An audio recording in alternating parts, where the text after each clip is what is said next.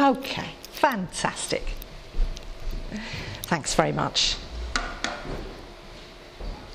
So, just to introduce myself, I'm Ruth Stock, obviously, and I am a member of the team at St Luke in the City.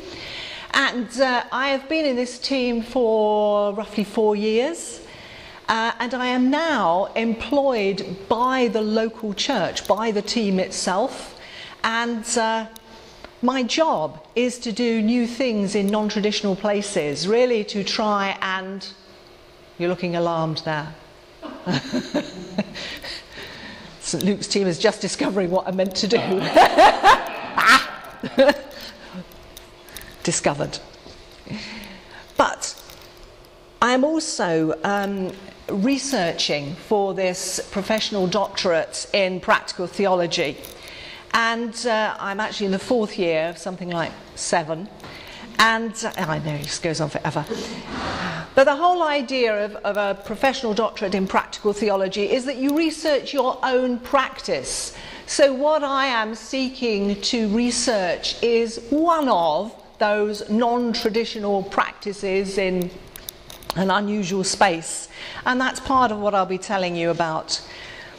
The title, A Post Evangelical, evangelical Perspective on Mission, is aha, light, maybe.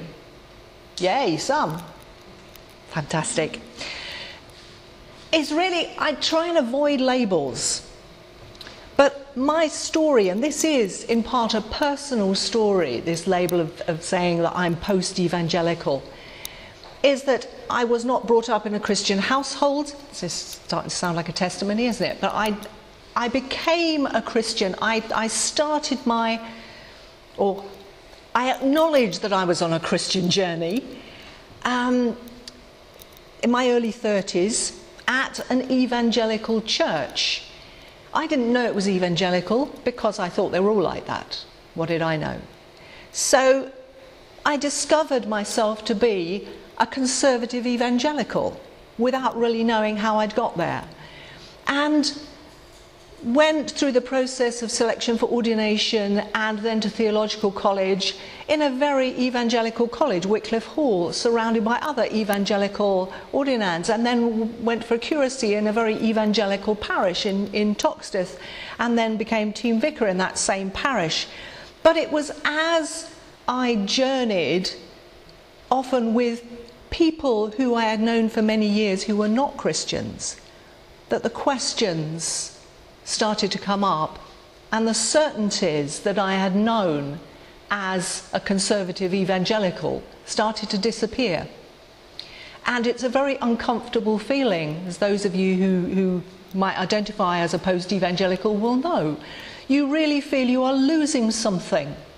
You really feel that you, you've somehow lost that certainty, lost that community that you used to belong to in which you could make judgments about what was right and what was wrong. And everything becomes a lot more grey, but also a lot more real. Anyway, that is my story and why I identify as a post evangelical, and that may be something that we want to talk about afterwards at the end of this, uh, of this talk. So, mm, what did we say was this? That one? Yes, that's the right one. So, this is a a journey, but it's both theological and it's personal. And this interaction with people whom I will, which I will describe as we go on, is part of that journey. I do not feel that I am somebody who comes with an answer that I need people to accept. I journey with people and their perceptions change me as much as I think the practices that I introduce may change them. So these are just the titles um, that, as we go through the various slides, there are elements, there are three elements really. First, as I say, of personal journey and the practice of evangelism, but also of context. How are we where we are? And the the idea of fresh expressions of church, which I'm sure many of you are familiar with, some of you may be totally bored with. Um, but that is the rationale for my job. that was how it came about, was so that we could kind of produce these fresh expressions of church, which of course now get measured on church statistics, so they must be okay, mustn't they? it is also about the voices, hearing the voices of some of the participants in a particular practice which I facilitate, which I will describe to you.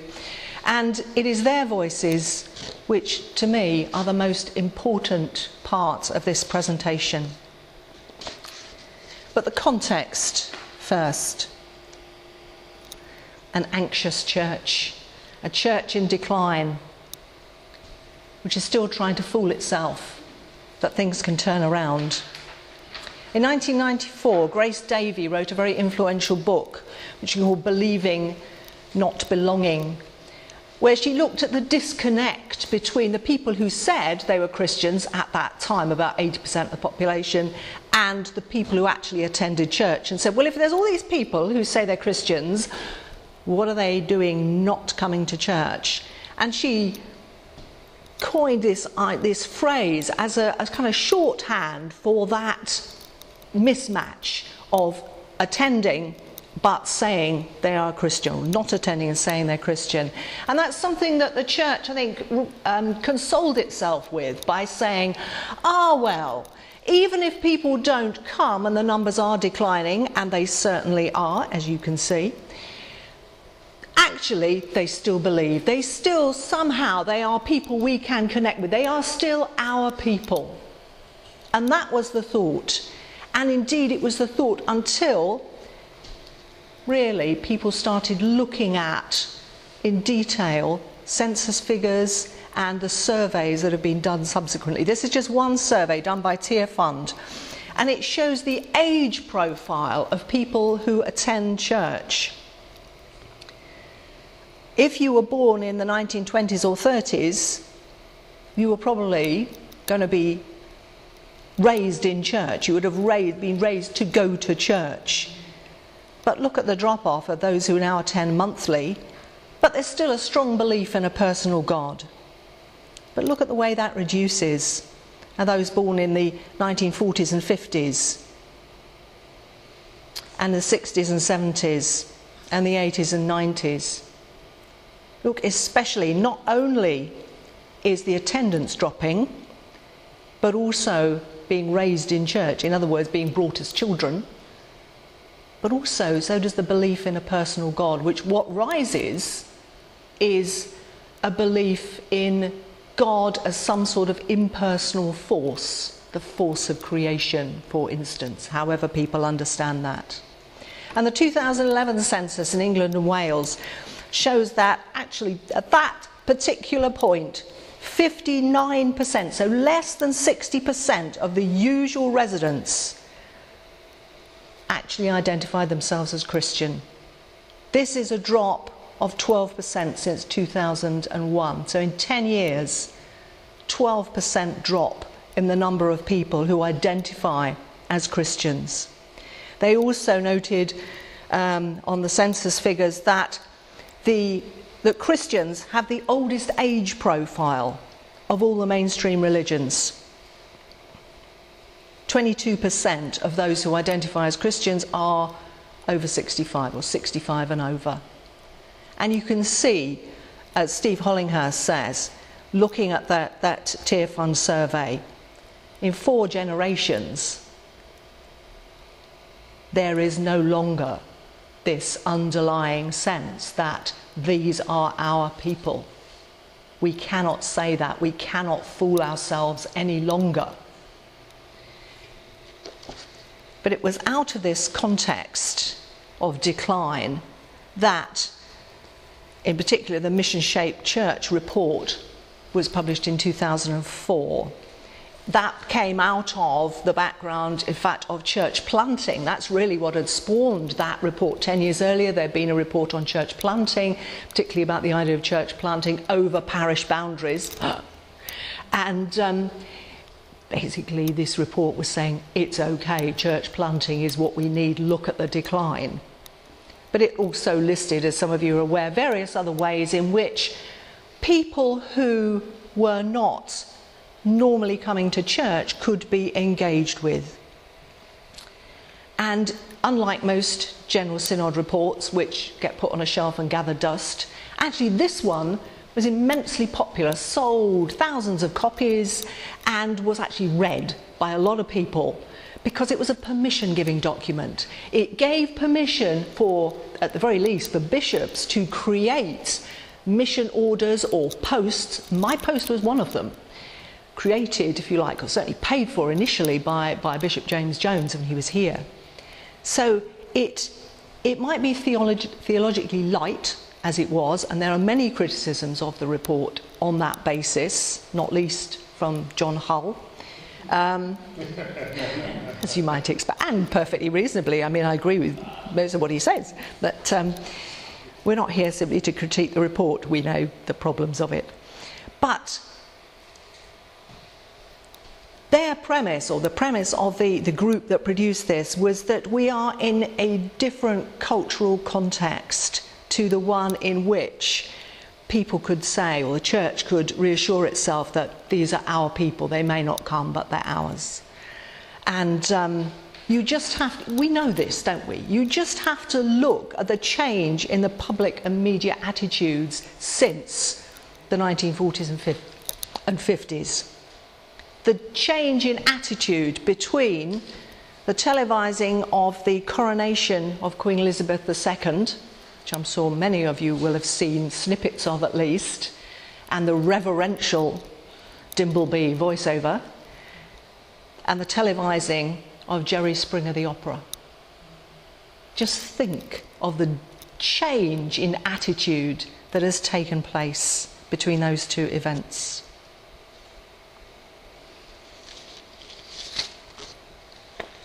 So, what we have, according to the report, is a disconnected people. In that mission Shape church report, they defined the population as 20% of, of them are regular church attenders. By that, they meant once a month, usually. People who go to church at some point. 40% they reckon were de-churched or lapsed, and 40% unchurched for whom church is totally foreign. Mind you, within that 40%, there are also adherents of other religions. But notice the language of this report. All these people are being defined in relation to church, not in relation to God or a faith system, but in relation to church. To me, it is also language which belittles, it defines people by what they're not, and it does not take them seriously, and it sees them these people what don't come are the problem, and we need to do something about the problem of them what don't come.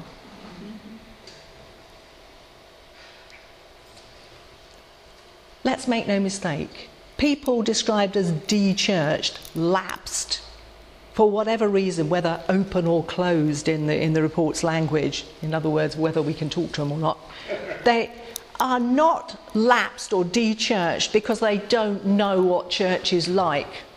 They are de-churched because they do know what church is like and they have voted with their feet. That is the issue we are dealing with.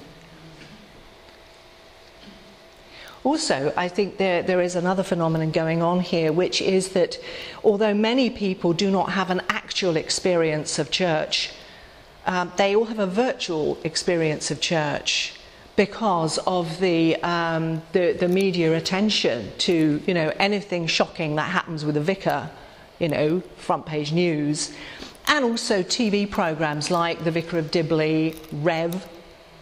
What a great program that is! But anyway, I digress. But um, so people, people's experience of church is not simply coming to church. It is a a whole cultural experience of church.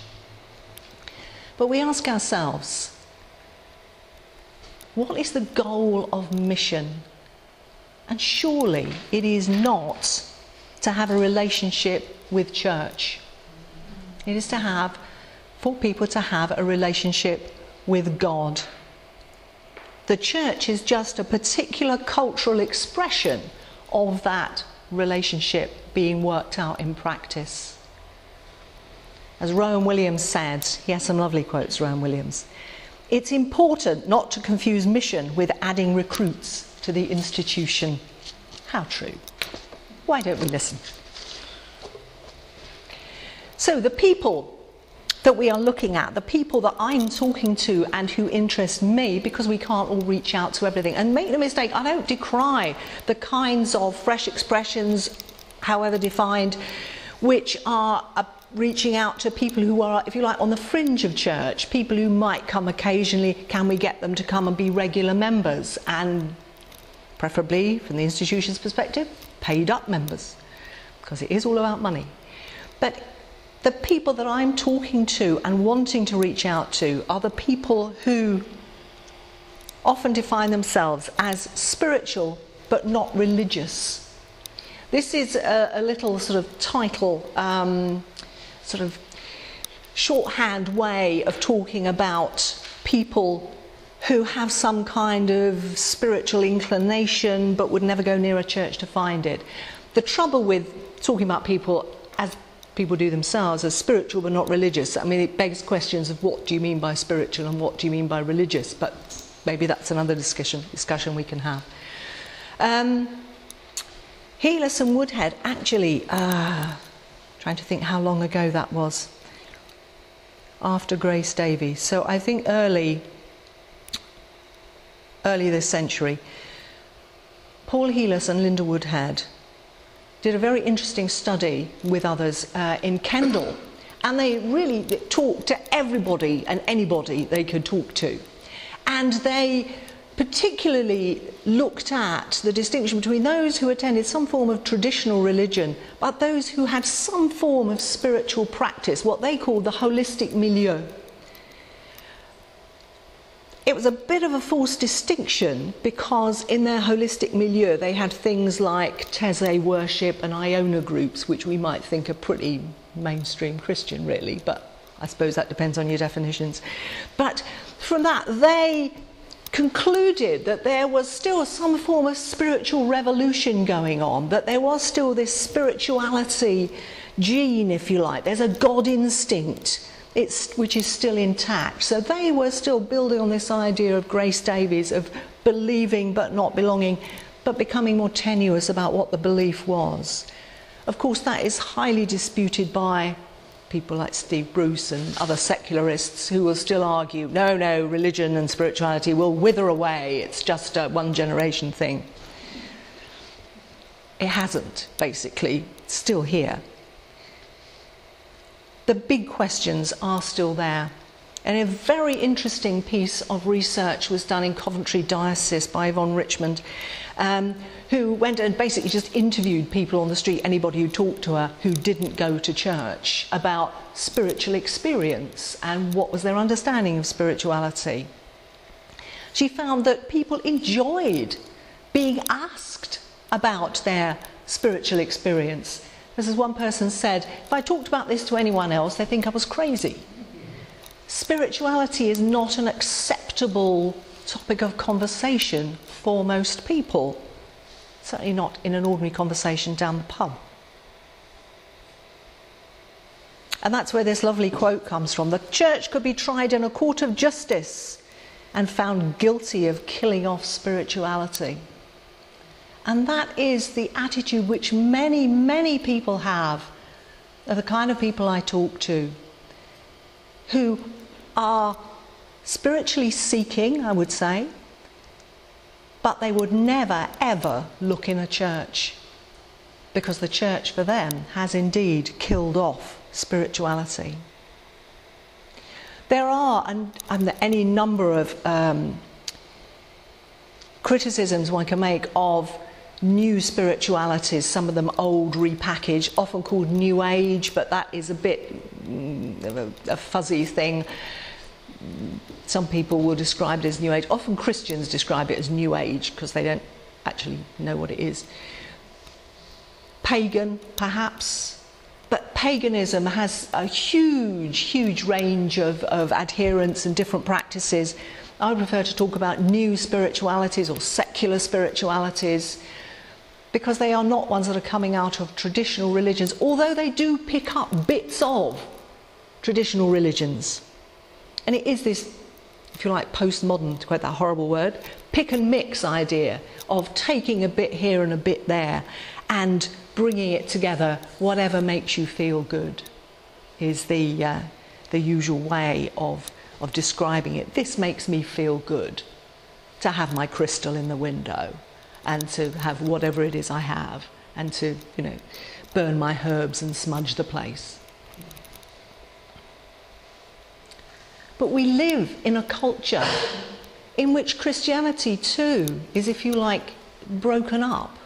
There are shards of Christian understanding, of Christian belief, of Christianese, Christian practices out there in the world being picked up alongside all these other fragments of different religions.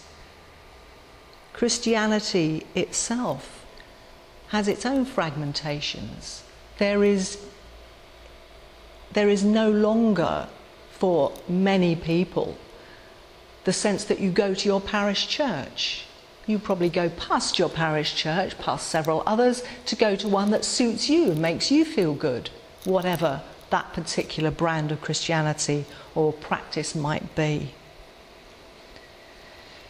And then there is also the criticism that the new spiritualities are very taken over by global capitalism. There's a fascinating book um, by Carrette and King, if you want to read up more on this. And they are absolutely scathing about um, capitalism picking up the idea of spirituality to sell whatever. You know, it's just the latest scent of candle.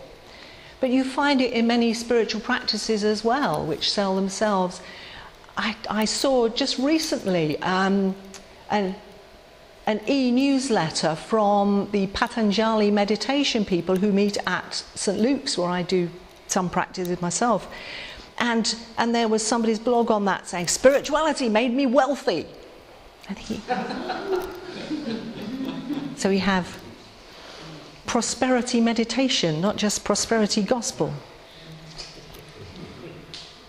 That spirituality, if you like, becomes a toolbox that anybody can take bits out of for whatever practice. You know, whether it's for your business, for your marketing campaign, you know, what is the spirituality of marketing?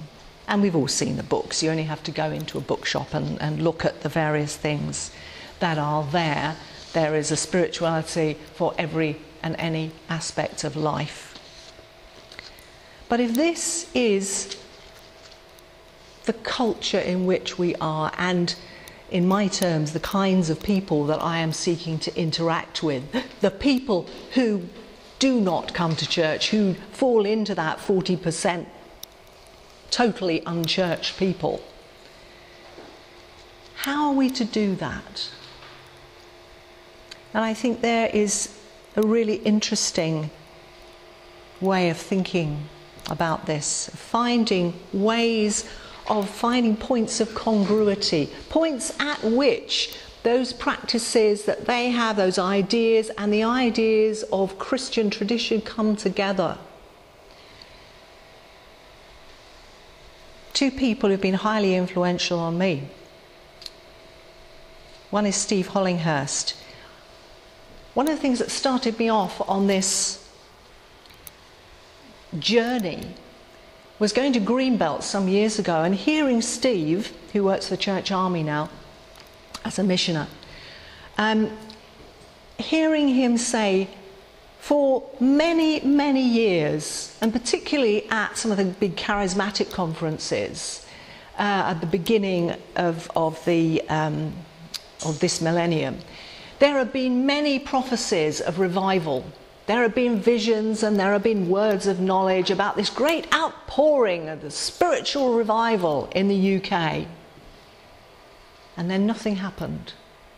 And Steve said, It has happened, but it's called the New Age. That, to him, is the spiritual revival. And the church has missed it because we have been looking elsewhere. So he puts it more politely in, in his book. What if God was enabling a great spiritual awakening not in the church but outside it? This is pick up on the idea of Heelas and Woodhead that there is this spiritual revolution happening, but it's not going to the traditional places.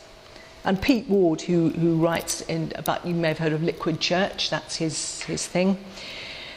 The central missiological issue for the church in the West is how it will react to the mediation of the spiritual in popular culture. That's where we need to be, looking at the real culture around us. Martin Warner, when he was at um, St. Paul's Cathedral, was intrigued by the way in which people would come in just fairly randomly, just come into St. Paul's, and he would say, What are they looking for? Because they would all hush their voices. And they would all sort of say, Oh, I can feel something spiritual here. What's happening for them? And he talked about these points of congruity that he felt were, were in existence between the Christian story and their story. The idea of rest or Sabbath, of words of transformation the idea of transformation and the hope that it brings, of remembering, of bringing together what has been split apart, what has been lost. The provision of a safe space, a healing space, and the idea of beauty, a beautiful space. And that's an idea that, that I have worked with in some of the research that I've done this idea of finding these points of congruity and one that I have found and that I am working with will be known to many of you as St. Luke in the City, the bombed out church, very edgy place, as you might know, in the city centre, but there is no obvious city centre church in Liverpool, is there? They were kind of gone. Um, this is the most obvious one, but no longer owned by the church, actually owned by the city council.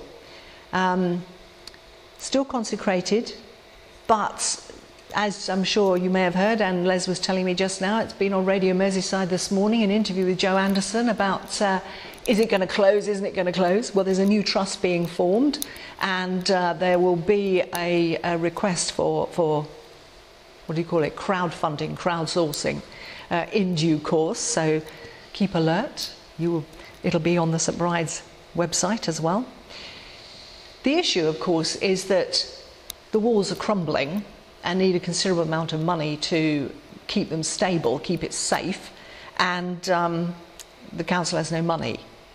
And in the meantime, there is a trust which exists which has just enough money to pay the insurance. Not to do anything else, just pay the insurance. That's really all it can do at the moment, which means you can actually open it and go in. But there is a garden it's, uh, it's a safe space. It brings back, it remembers as a space what it was built for. It's a healing space. It was St. Luke's. It's next to Rodney Street. It was the place where the, the medical profession used to come and worship. That was their space, is my understanding of it. But it's also a tourist attraction and a place where street drinkers sit off, as you will know if you've been there. But within that space is a place where I have started some years ago, a couple of years ago, a particular practice. And this is where it becomes very personal. Because this practice has arisen, it's called Ruach blessing, if you can, yeah, yeah, it's come up pretty well on that. And it, it is something which has developed, I have developed, but it's kind of got a life of its own. But I realise that this, which is a missional encounter deliberately aimed at people who would never go to normal church spiritual practices, I realise that it is very much about who I am and my experiences to date. It's not a system. And probably if, if I wasn't there, it wouldn't happen. Or if someone else were there, it would happen differently. It's a meditation practice. And you can see there the different kind of influences on me from Anglican liturgy to Christian meditation my own Tai Chi practice. I've been a Tai Chi practitioner for, I don't know, 15 something years. And also, more recently, an awareness of breathing and body sensations which have come from a mindfulness practice. And I and another colleague here have trained as, uh, as teachers of mindfulness based practices. We do that with whoever comes. There are a few regulars, but basically, whoever turns up, which might be some of the street drinkers if they're sober enough to stay for more than two minutes. Innocent tourists who just look in and think, oh, what's going on? People who drop in from surrounding offices because they see it advertised outside. That's the only place it's advertised, it's simply there for people to drop into. It's a practice which is open to everyone because it's very gentle. I introduce it, I encourage people to join in, and I demonstrate and show people what to do and remind them of the mantra of breathing in the Ruach, which I describe as the breath of life, the Spirit of God. I explain it as a, as a Hebrew word that, that means spirit, breath, wind, we breathe that in. So on an in breath, we will use that sound, ruach, and on an out breath, blessing, as we breathe out a blessing on all living beings, which is a deliberate echo of a Buddhist prayer. At the end, after about 40 minutes, because we've had a warm up first, so it's just under the, the hour between 1 and 2 on a Thursday lunchtime. At the end, I will say to people, you know, from the tradition I come from, the Jesus tradition, all you need to do to live well is to do justly, love kindness, and walk quietly with your Creator. And then a blessing. I always say, let's go in peace, be blessed, and be a blessing to others. And if for any reason I, I forget that blessing, or something happens, or somebody's talking, the regulars will say to me, Where's our blessing then? Why haven't we had our blessing? We already have this little ritual. But that's the only way in which I identify myself as a Christian. And then invite people for coffee afterwards. And over coffee, at Bold Street Coffee, very excellent coffee, I can tell you, we talk about the session. What was it like? What did you feel? You know, what, what was around for you today? Anything happened during the week? Anything you want to? And sometimes we talk about spirituality and sometimes we talk about the price of fish. And sometimes they ask me my story. Why am I still in the church? And I can tell them and give honest answers to that. But I don't do it in order to give my testimony. I do it in order to reach out to people and have this non judgmental, fully attentive listening opportunity. Because what I think we're doing on a Thursday does not need to speak.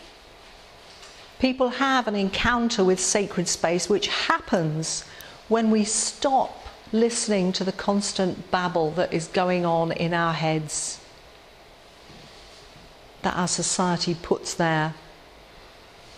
We have the opportunity to talk about it later, but in the quiet and the peacefulness and the stilling of our busy, busy minds, we practice the presence of God, even that God that we do not yet know. That God is not absent from that encounter. And it's from the regular participants that uh, 18 months ago I had um, some focus groups.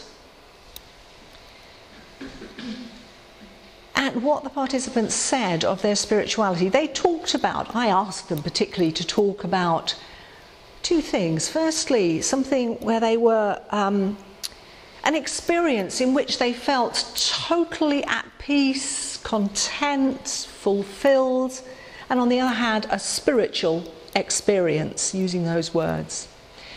When they talked about that first experience of being completely fulfilled, aware, and uh, fully present.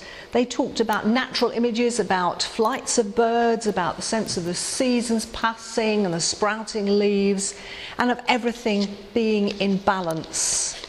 One of the people said, Walking home, I suddenly had a feeling of everything being in perfect balance, all as it should be.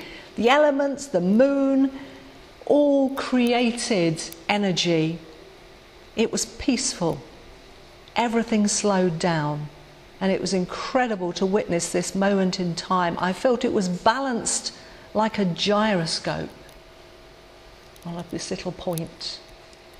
And that is not somebody who ever goes to church, and yet what I think he's talking about, and the point of congruity, if you like, is the shalom of God, this sense of harmony, of perfect balance. This is a conversation that can continue. That's what he's experiencing at that moment. The other key thing that they talked about in, in terms of that moment of, of complete awareness and fulfillment was a silencing of the inner critic, the inner dialogue that went on constantly for them. They were all conscious of that, that voice in the head, that, that constant self talk, often highly critical and the sense of feeling themselves part of something greater.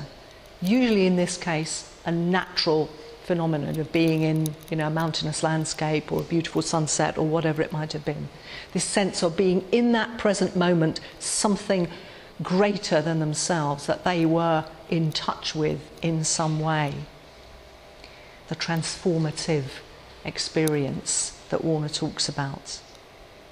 Interestingly, when they talked about spiritual experience, used the word spiritual or spirituality, it was a very difficult word for people who had had a, a religious upbringing. One person there had been brought up, in her words, strict Roman Catholic, and found it very difficult even to think about the word spirituality.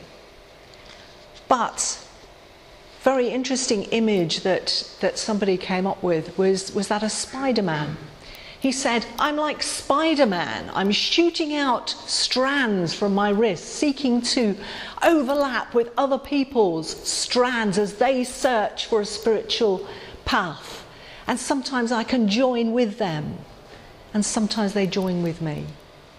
This idea of connectivity was very strong there's also this sense of looking for spiritual people. And I think to counter the arguments of, of people who would say that new spirituality is all about private feel good, yes, to an extent it is private in the sense it is self chosen, but is also this seeking to connect, to connect with others who are on a spiritual path, recognizing that we're not all the same but that there is wisdom to be had. And also, yes, it is consumerist in the sense that it is self chosen. But there is also the sense that there is a journey of growth and a desire to create spaces to be honest with ourselves. Those are the words that somebody used. I want a space where I can be honest with myself. So, to me, this practice forms an ambiguous encounter. It's the soft witness of hospitality. There's me offering a practice in which they can join. But a practice that will make a positive change, a way of living skillfully. It works, it makes a day to day difference in people's lives. Plus, there is a way of going further if people choose. We offer opportunities to meditate alongside others in a wider community, some Christians, some not. So, to that extent, it is good news that we are being as we offer something which makes a real difference in people's lives. We're not saying turn up and in 10 years you'll feel so much better. We're saying right now you can experience a stilling of that inner voice. And it's honest also. To me, the important thing about being the good news is that our mission practices, our evangelism, comes out of not the things we think we know and have to share with people, but of our actual practices that do good for us. The things that we actually are. And yes, there is news there. There are things that people need to hear. But if we start with that, then we've lost people immediately. They're very sensitive to this sense of they're out to convert me. Highly sensitive to that. But we have to be honest about our own story. As one of the people, one of the people in the focus group says, we all have a wobbly story. And I like this idea of a wobbly story. My story is exceedingly wobbly. But sharing our wobbly story helps to make a connection with theirs. But it also takes seriously the spiritual aspect of everyone. If we are serious about there being the Augustinian God shaped hole in everyone's life, then every time we help people to still that critical voice inside, to be quiet, we tread on holy ground here. So we tread lightly. We're listening and seeing sideways. That little quote of fox feet, deer ears, owl eyes, that's from Bruce Stanley, who is um, the founder of Forest Church. And this is something he invites people to do. You tread lightly so you make no sound, as foxes do. You have deer ears, which hear in all directions the slightest sound behind as well as in front. And we have owl eyes, which look out of the periphery, look sideways at things without moving. This is what we need in mission. Not to go in thinking we have the answers, but to go in treading softly, listening, seeing. And lastly, you'll be pleased to hear, the journey continues. The things to, I think we need to hold in mind, the things I'm still holding in mind, is the idea of missio dei, which is the sort of the theological idea that, I mean, very much uh, comes from the work of David Bosch in Transforming Mission, um, that mission is not ours. We don't have mission. That actually it's God's mission. God sends Jesus. God the Father and Jesus send the Spirit. It's the mission of God. It's what Missio Dei means. And then we are participants in that because we are the temple of the Holy Spirit. We are where it happens. And mission is therefore who we are and not what we do. We do good things. And I wouldn't decry that for a minute. It is important that we do the things which are about social justice, that we feed the hungry and visit the sick and those in prison and all that. Yes, of course we do. But the mission is who we are as we are doing it. We perform our apologetics, our explanation of the gospel. We don't tell people. We do it. We are it. And another lovely quote from Rowan Williams We meet the other, whoever the other is, as an equal about whom we care, motivated by a spirit of love, and not as the proprietors of a system. This brings on to the, the idea of being a post evangelical. For me, in my evangelical days, I thought I had the system and I thought I knew what it was.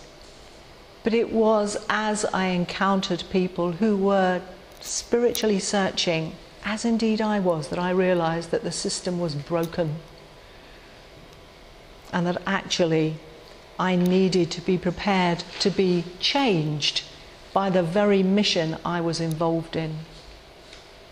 It wasn't just the people who I thought I was doing mission to.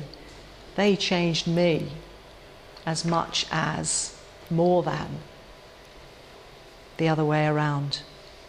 Hence, I would claim post evangelical. But to me, post evangelical, a contested term I know, does not mean post biblical. I know there are those who will say that, that, you know, lost the plot, not sound anymore. And I don't think that's too easy uh, uh, a smear to throw at people. It is not post biblical, it is wrestling, hungrily wrestling with Scripture so that we can see what it means for the kind of people who do not come to listen to a sermon. Finally, the tensions which are really there, which are the same as in the church. With any new missional activity, who has the authority? Where does it come from? We, we happily say it's the mission of God. Well, who interprets that? Mm-hmm. To whom are we accountable? Well, I am accountable to the team rector, but I can go off and do my own thing. He doesn't actually come and check up on me. Probably will now. Where do we draw the lines? Not all spiritualities are positive. How do we discern what is something that we can have a point of congruity with and what is not? What is our, if you like, theoretical grid that we can use to evaluate? And lastly, biggest tension of all, I think, is money. Because if we are going out, as I am, and encountering people who will seriously never be a church in the way that we understand church to be, they will not be a bottom on a seat and putting, you know, converting their wallet and all that.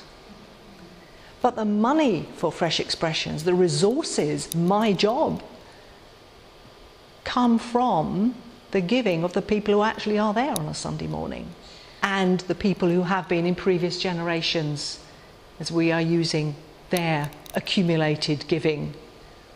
And that is a big thing because I know one of the measures of fresh expressions is they're meant to be self sustaining, but an awful lot of them never will be because we are not trying to create an institution. We are trying to enable a relationship, often a wobbly one, to use that lovely word.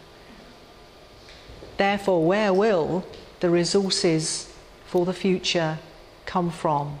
And it is a big tension, and one that I recognise.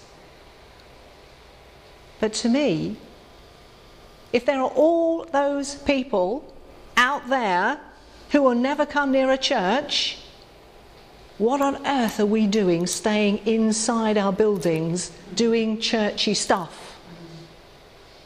Why are we not enabling people to go out? And that's what everyone says enablers.